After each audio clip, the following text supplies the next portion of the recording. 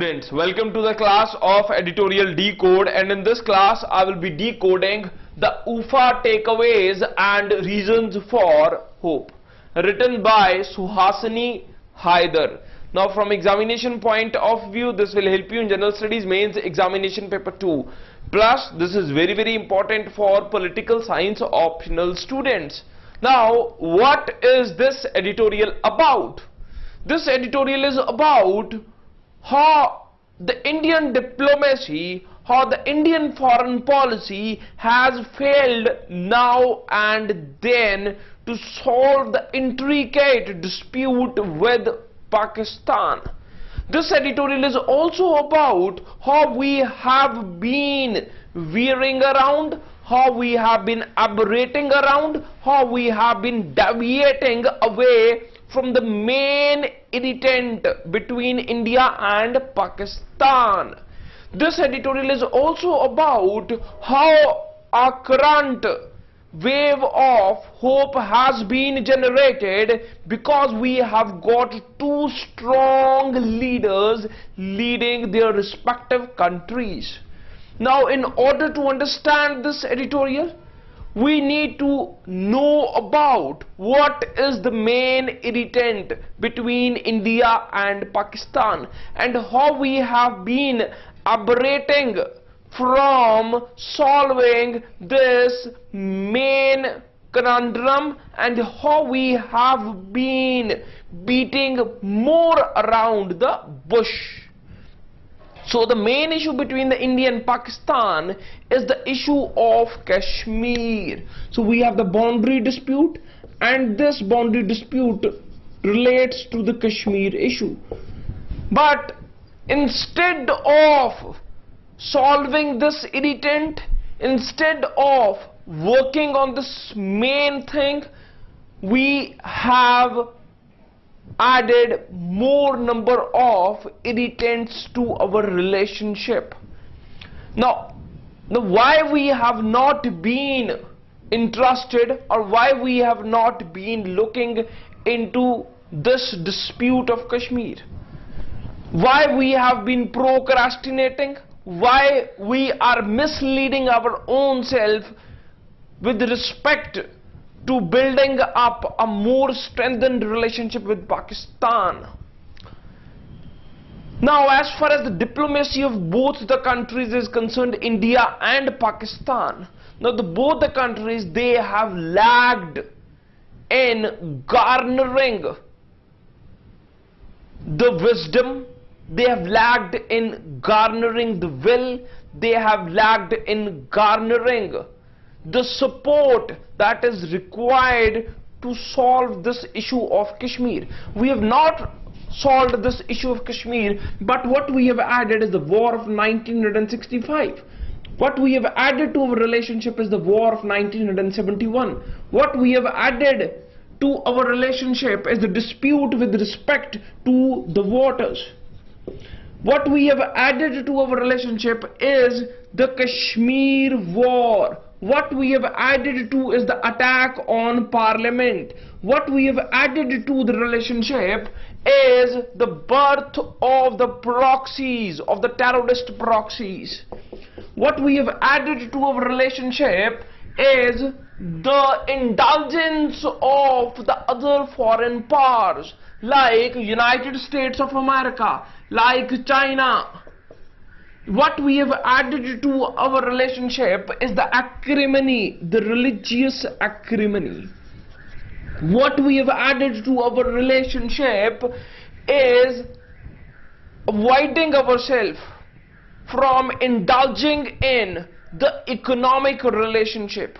What we have added to the relationship is making this entire South Asian region an economic failure. What we have added to the relationship is that we have put the SAARC, South Asian Association of Regional Corporation in slumber. What we have added to our relationship is the lack of the will to trust each other.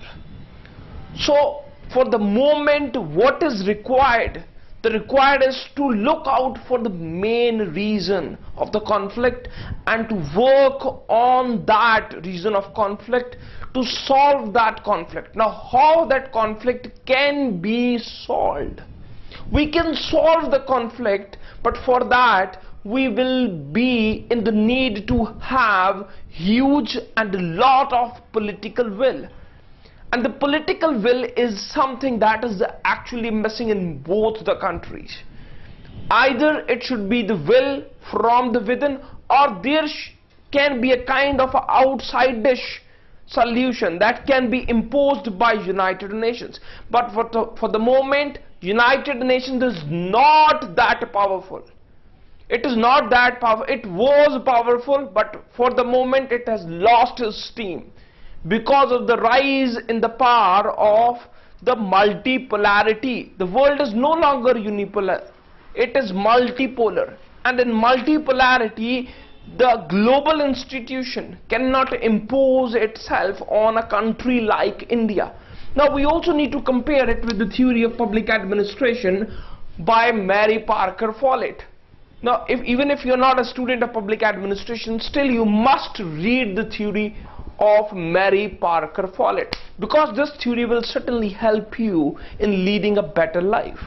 Mary Parker Follett says that conflict is inevitable कि conflict होना ही होना है conflict को avoid नहीं किया जा सकता किसी भी संस्था में, किसी भी ऑर्गेनाइजेशन में conflict is inevitable and in order to solve this conflict there are three ways by which you can solve this conflict the number one is either you dominate or the second way is or you can go for compromise or the third way is you can go for integration Now what is meant by domination? Domination means अगर दो parties के बीच में conflict हो रहा है एक party दूसरी party के ऊपर डोमिनेट कर जाती है in that case you will be not addressing the desires and the needs of the other party. Rather, you will be imposing yourself, you will be hegemonizing yourself over the other party. And according to Mary Parker Follett, if you will be trying to solve the conflict by way of dominating, it will not sustain. It will not last for a long. Now why it will not last for a long? Because the other party whose needs and desires have not been met, that party will always try to flare up in the future that party will always try to bring up the unsolved dispute again. The dispute will remain less solved. And the other way is by way of compromising. By way of compromising, one party will give up a part of its desire and the other party will also do the same. मेरी जो इच्छा है, मैं उसको भी कम कर दूँगा, जो दूसरी पार्टी की इच्छा है, वो भी थोड़ा सा छोड़ देगी। So both the parties they will try to come at a common platform at a common solution but again according to Mary Parker Follett you can not solve the solution by way of compromising because even in this you will be not satisfying the desired of both the parties in a complete manner. You will be just addressing a part of their desires. And again, there are chances that the conflict may again flare up. And the third way is by way of integrating. You're addressing the problem completely. You're looking out for one such solution that will be addressing the needs of both the parties in a complete manner. So in case of India and Pakistan, we cannot dominate, we cannot compromise because no party, no country will be ready to give away their territory because that is something that we are really attached with as a nation. The concept of nation keeps us more attached with the land. The concept of nation keeps us more glued with the territory thing.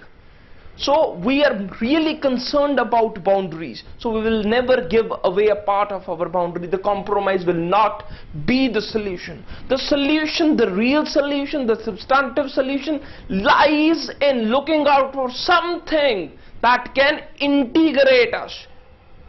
जो जोड़ दे दोनों को दोनों देशों को now what can that be a solution the solution can be like creating up an economic zone between India and Pakistan. The solution can be like both the countries are working for the terms, on the terms of track 2, track 3, track 4 diplomacy. So these can be the solutions, but we must keep an eye on the real issue. And this is what, this is something that has also been suggested by Mary Parker Follett अगर आपको conflict को दूर करना है, दोनों parties को बैठना पड़ेगा, सोचना पड़ेगा कि क्या रियल इश्यूज़ है जिसके लिए हम फाइट करें। Real issues are not these ones real issue is not about Ufa declaration real issue is not about 1971 war real issue is not that the terrorist proxies are operating in Pakistan and they are inflicting war on India real issue is the issue of Kashmir. So this was all for the day. You can subscribe to this channel. Name of the channel is EIAS Mentors. You can contact me at 845940000 in case you're interested in buying the video classes on entire civil services preparation. Now, to avail the information on the classes that we are offering, please visit our websites eiasmentors.com and brainicky.com. You can also install our application. Name of the application is Brainicky. You can find that application from Google Play Store and from App Store. And in case you've liked this video, do click on the like button. And the question for the day is critically analyze Indian-Pakistan relationship. And uh, do share and comment on this video. So this was all for the day. Bye-bye. Take care. Have a nice, nice day.